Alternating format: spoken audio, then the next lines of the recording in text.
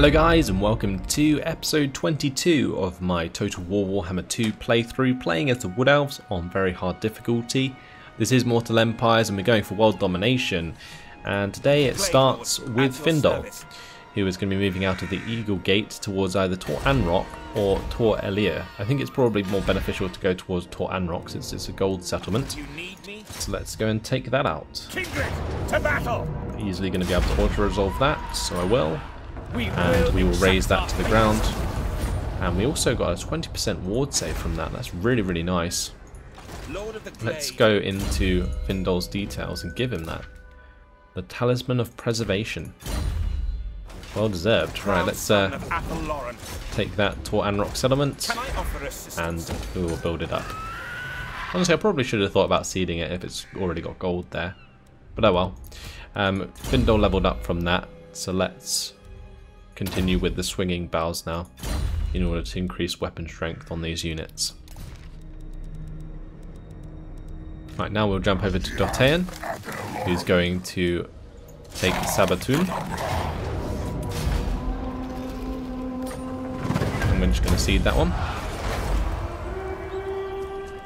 Get ourselves the cattle pastures there for the extra unit experience for cavalry recruits.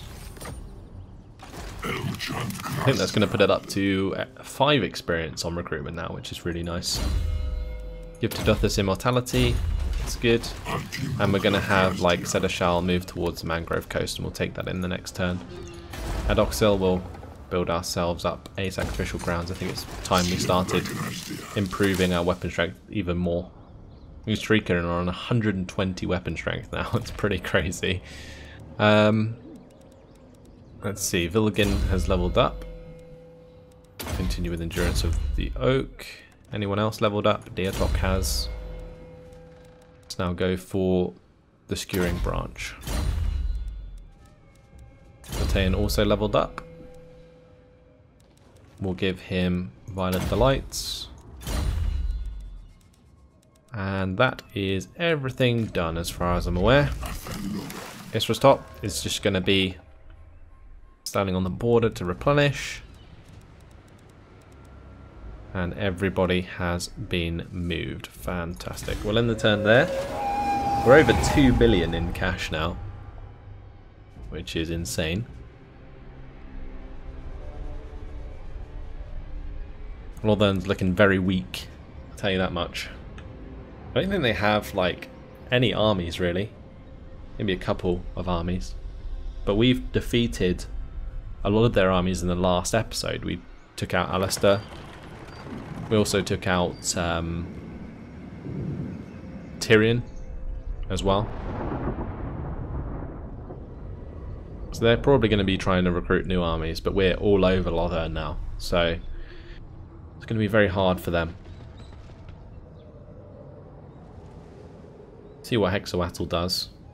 Also, it'd be good to keep an eye on the uh, the new rogue army that's popped up. There's an army at Skeggi. Okay, so that's like the first proper Hexoatl army I think I've seen.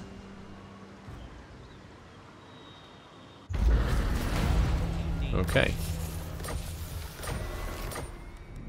If we go into our diplomacy, where is the Hunters of Kurnous?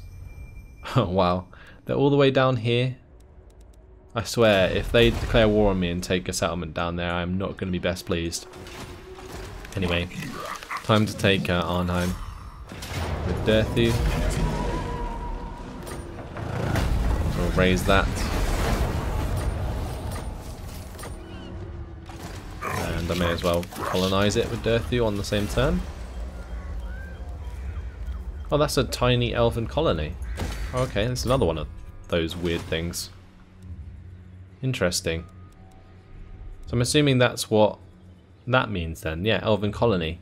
This location is the site of an ancient high elf colony. It increases income from ports. This may provide a unique building chain. I like it. Okay, so here it's actually given us three construction slots. So we have the foraging grove already. Maybe we should get the obsidian quarry as well. Or we could just get the sacrificial grounds on top of that. Now we'll get the Obsidian Quarry, because that just improves income across the board. Right, with Dataean, we're going to head towards the Mine of the Bearded Skulls. So let's just uh, march that way. We have Dalsith here, who we're going to use to assassinate this chap. That was successful, very nice. Give him Tempered Rigor. We're going to get Seneschal to take Mangrove Coast. Perfect. We'll just seed that one. Good. Right, he unlocked himself some new armor. We got the Armor of Fortune here, but I think the Helm of Discord is pretty damn good. But he actually found the Gambler's Armor, which is also a very good um, armor because it gives ward save. So Seneschal now is going to head back towards Savathûn and we'll head up to like Axlotl. We need to destroy Sorcerer's Islands and uh, then we can have Treebeard just zoom across the ocean. Uh, probably towards like Pox Marsh or the Awakening. Whatever's easier.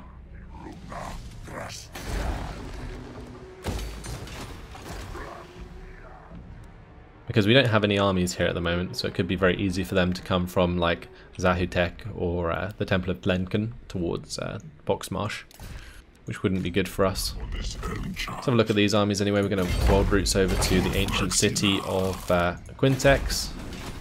We're going to have start zoom down towards like Iron Spike or Cecilda or even the Moon Shard. We'll have to wait and see. Um, Circo this turn. I think we maybe meant to have him colonize this in the last turn, but didn't get around to it. Uh, Woody McTreeface going to be taking Tor Kavaravai. Let's get the Banner of Eternal Flame onto the Forest Dragon. And we will just auto-resolve that. Because I'm probably going to... I was going to say raze it and then seed it, but apparently not. Doesn't matter either way. Jump into his character details. He currently has Glittering Scales. Let's give him the Armour of Fortune. We'll just upgrade him there. And for his skills, we'll finish off Shield of the Forest. That's really nice. And for his Branch Wraith. I think I'm going to pick up Deadly Onslaught. Right, Deatok is going to run his way round to Tor Sarior, or we could maybe World Roots over. I don't think he can World Roots while he's in a settlement, so I think we're just going to we're just going to march around. Iskura can hit Toranlek. And this is a battle we're actually going to have to play out due to the 50-50 uh, Even in auto resolve. Let's quick save and fight it on the battle map.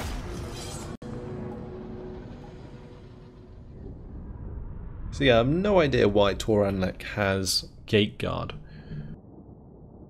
There must be some sort of unique building there that the High Elves can get.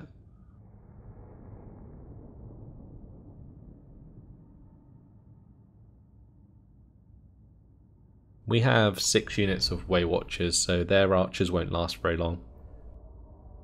We also have four dragons. And when it comes to walls, dragons do very, very well. We'll put two on the right side, two on the left side. Make sure all my Way Watchers kind of start in range.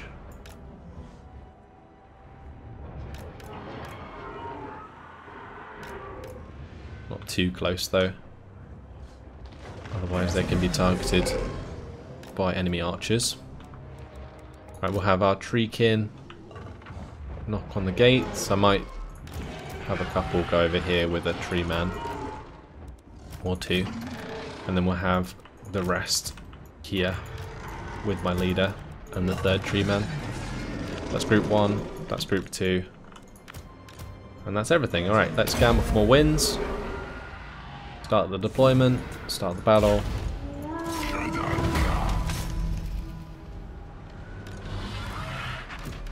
Right, so you can see here they're not able to like fire back at us with their Lothern Sea Guard, but we're able to fire at them, so that's absolutely perfect.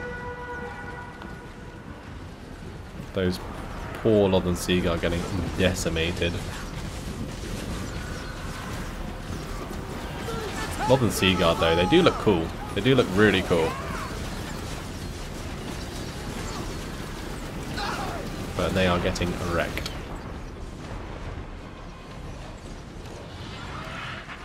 Right, so we probably want one to come along here and hit a couple of nice breath attacks onto these guys.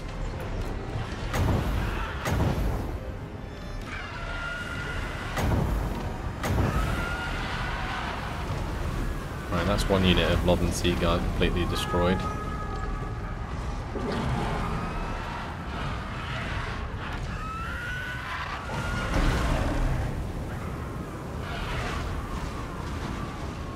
And that's a unit of White Lions of Chrace gone. Oh wow, we just put a breath attack into the back of my Forest Dragon. Nice one. Alright, we'll just have the Forest Dragons come down into these White lions. Knock them off the wall there and kill them.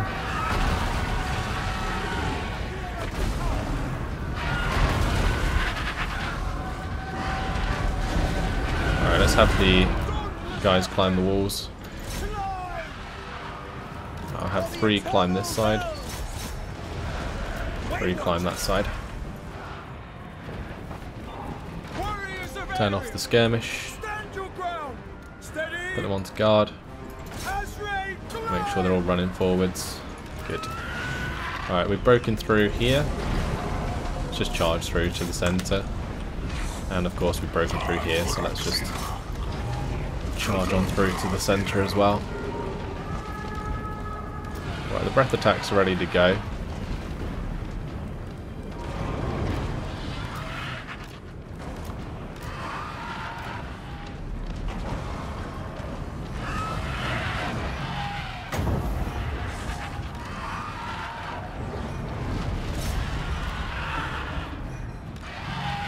I'm not quite sure what's going on here. Seem to be derping out a little bit. Oh well. Destroyed one set. sure we can take out the other.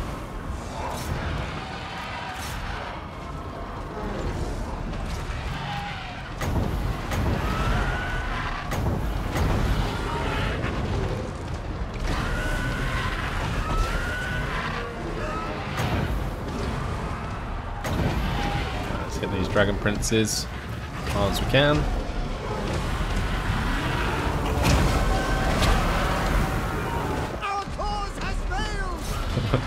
I love the way that we can make dragon princes run away with one breath attack. That is pretty damn awesome. Up on this wall as well, like our Way Watchers are able to take on these gate guards quite well. Look at their like two one-hand sword attacks. It's like the animations are just really awesome. They're using their like bows at close range as well, so there's that, which is uh, working well for me. And I think that's honestly just victory across the board. Got to just dive some dragons into the silver helms, and then I'm pretty sure we're good.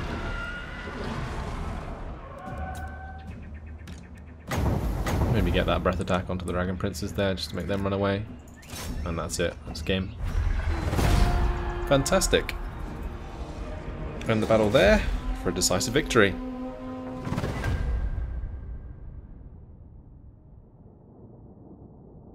It will always make me wonder why the uh, auto resolve is 50-50 in battles like that, especially when it goes so far in your favour.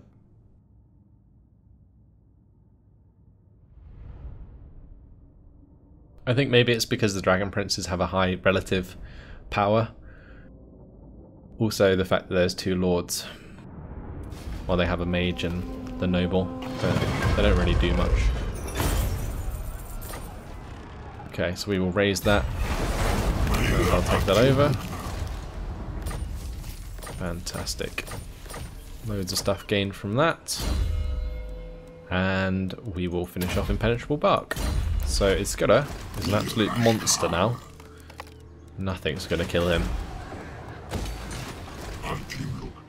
And we pretty much own the entirety of North Lothern. Now we got to get on the inside, take like Tor Sarior, um, the Gaean Vale and Tor Finu. We've also got to take the White Tower of Hoeth. We do have Orion here. But we're going to have Orion take out the Tor Elithis refugees. Make way. We're going to just charge them down. And maybe we'll take uh, Valzambir while we're here. We will be soon meeting up with uh, Findol on this side of things. He can actually go and take White Peak this turn. And I might be able to even with a depleted force. Yeah, easy. We'll just seed that one so that I can continue with the replenishment. Get foraging groves there and the Elven Haven. Okay, cool. You need me? Now since we do have so much cash, I'm not even sure if we need foraging groves anymore.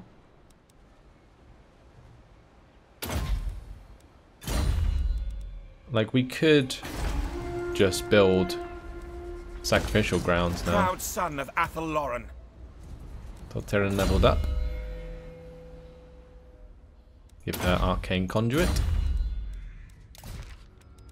Nice. Right, now to carry on with the rest of my lords, although I'm pretty sure all of them have been moved for this turn, haven't they? Yeah, looks like it.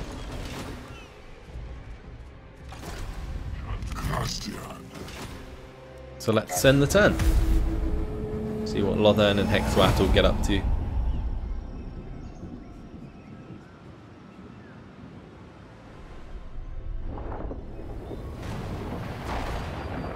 Well, they're going to go and attack Evershale.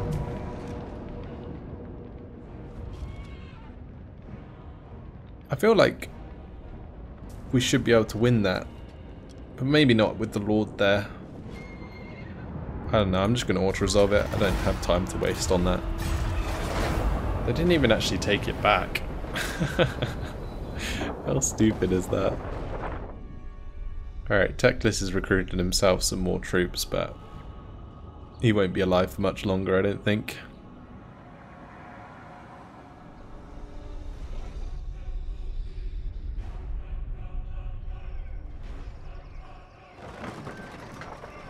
I'm not sure what that agent's trying to do, just constantly doing steal technology by the looks of things.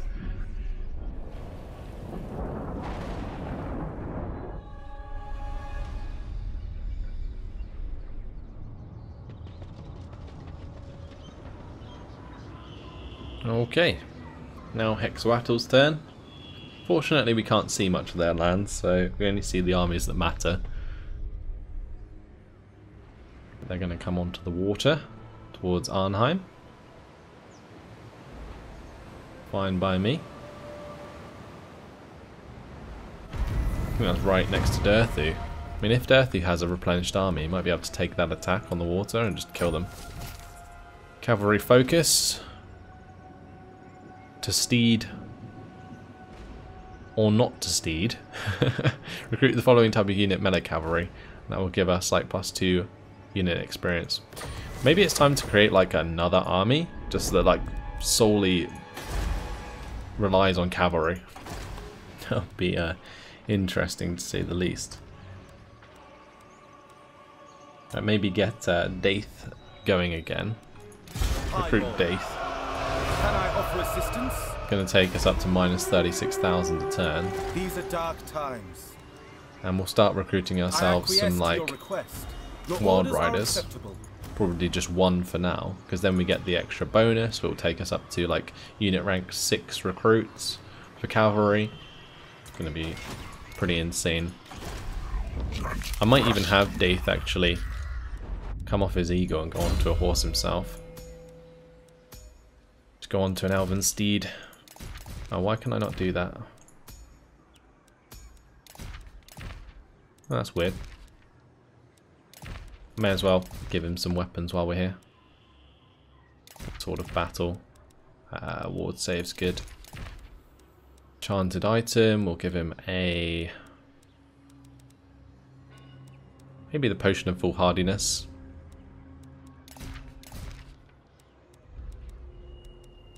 Oh, look at all of these banners that we have now. Campaign map movement range is where it's at.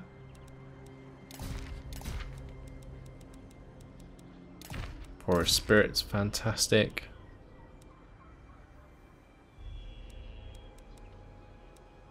Maybe getting the speed banner would be good if we're getting mostly horsemen there.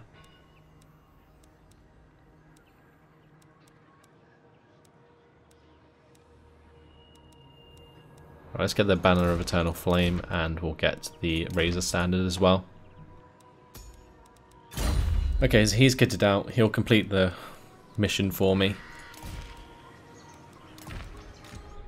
Right, as for Durthu, Durthu's replenishing. Okay. So maybe that's why we're going to be attacked by Ellis here. That army, though, is pretty damn good. Holy moly multiple feral, feral Bastiladons, normal Bastiladon with the uh, re revivification crystal, um, an ancient Stegadon, we got the feral Carnosaur, horned ones, chameleon skinks, and temple guards. Like all of these units are just fantastic. a little bit wary about leaving Durthu in there. I feel like we should like sw switch him out because otherwise he's going to get attacked while his army's depleted. I just want to check this out.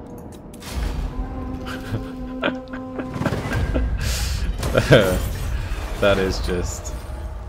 That is just so lame. So lame. oh my, what did I even lose? I lost um, Wild Riders and I lost um, Treekin? Must have been Treekin can recruit those back in the same turn. I'm not sure if I should have done that or not. I don't know. uh, maybe it would have been better to fight that out on the battle map. because it would have been cool. But uh, I, I just couldn't not do that because they've done it to me so many times in this campaign in the past. I just had like, my army is just wiped out by an auto resolve. I could have gone either way to be fair. But that's another settlement under our control. And uh, we'll continue down with Isrosdot. Let's go to Iron Spike here and take that. Fantastic. Alright. Zerko um, may as well come down and take that other side down here. We could, I think, wild Root's over. If we jump out the settlement, we can... Maybe wild Roots? Oh, we can't. Okay. You cannot, you cannot adopt this stance in this region. Oh. Alright, well we'll just carry on down to the Elis Isle then, and we'll take that. Get the cattle pastures built there. And Torvris. It's going to take us up to plus 6 by default. Right. Diatok can attack Teclis. Right, this is going to be a battle. Don't you worry about that. Although, saying that, it doesn't have to be. But I am going to jump in and fight this one on the battle map.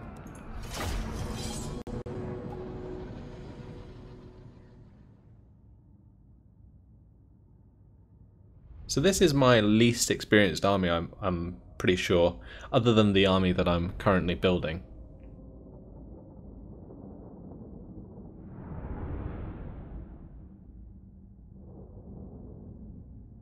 But that army that I'm building is going to be pretty experienced anyway because we're going to be recruiting them at least unit rank 6.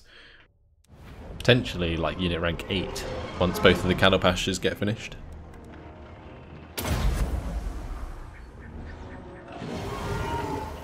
Okay, we got a little bit of extra winter magic from that, but not nothing too much.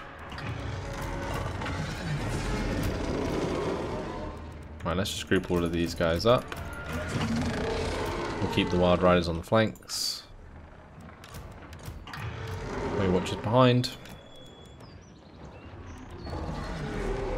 And I need to have my branch wraith with these guys as well. Start the deployment, start the battle. Have group 1 just charge forwards. I need to keep them locked.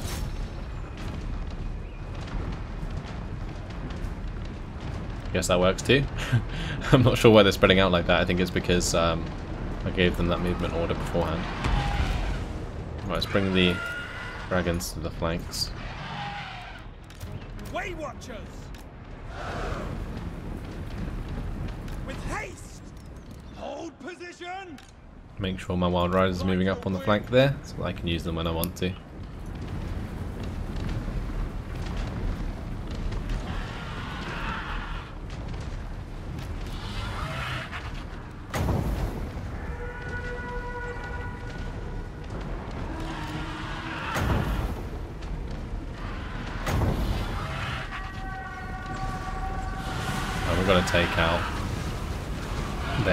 If we can.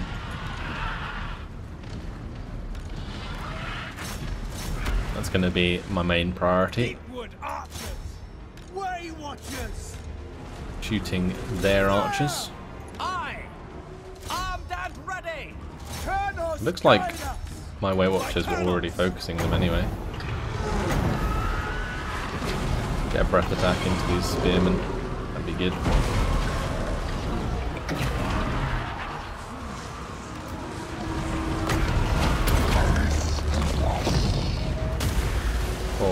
That was a very nice hit there. Way Watchers! Straight away! I think I see why the auto resolve was like so far in our favor. Because they're all just running away. The fear factor of this army is just absolutely insane.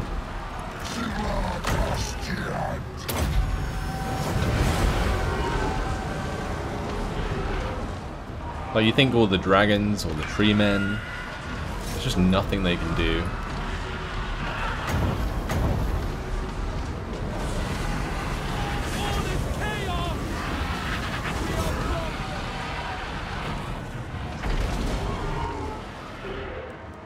All have the Way Watchers just run forwards and find their targets.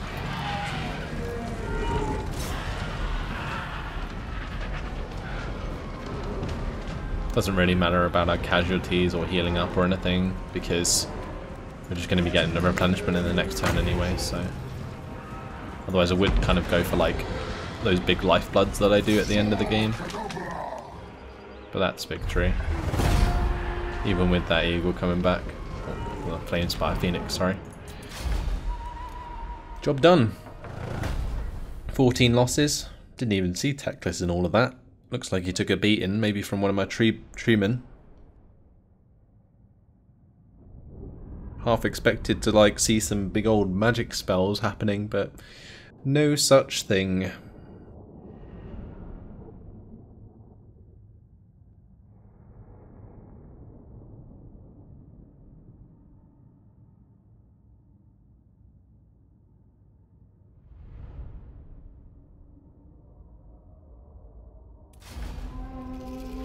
Alright. Job done. Death holds no fear. We'll just seed that. Get our replenishment. We'll put in the sacrificial grounds there. Right, next up we'll go towards uh, the Gaean Vale and then we can head down to like Torfinu and so on. Let's see. Next army to move is Orion. Gonna kill off this rogue army for me. Attack. And then is going to attack one of the settlements if we're in range. I might just attack. Tor Sethai, um, just to like auto resolve that and then siege so that we get the replenishment. And then next turn we will be in range to attack Valzambil any anyway, so that's good. We can get the exo exotic animal tamer there as well, which gives us an extra 250 per turn, which will be a lot more due to our foraging groves. Uh, Tala, I think we'll just get Flurry of Boughs, just to make sure that we, you know, if we ever have a forest battle, we get that bonus. How can I assist you? Right, with Findol taking. White Peak, we'll move down to Tor Elia with him.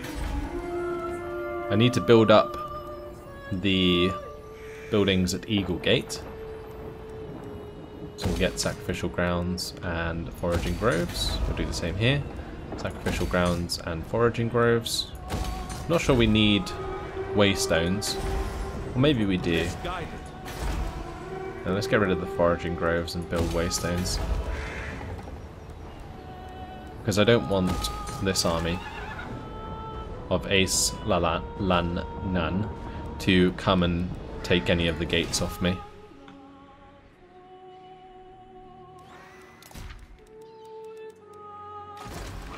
Right, as for a Skidder, Skidder can come down into the center as well. May as well have him like march towards Evershale or Evershale. Not sure if it's Evershale or Evershale. anyway, um, yeah, we'll use this Skirra to like finish off this army. Um, I might even use this Skirra to take the guy in Vale, and then that will allow Deatok to move around to Tor Finu and the White Tower of Hoeth. But either way, guys, that has unfortunately been my time. If you look at this map in the top right, it's certainly becoming very green indeed.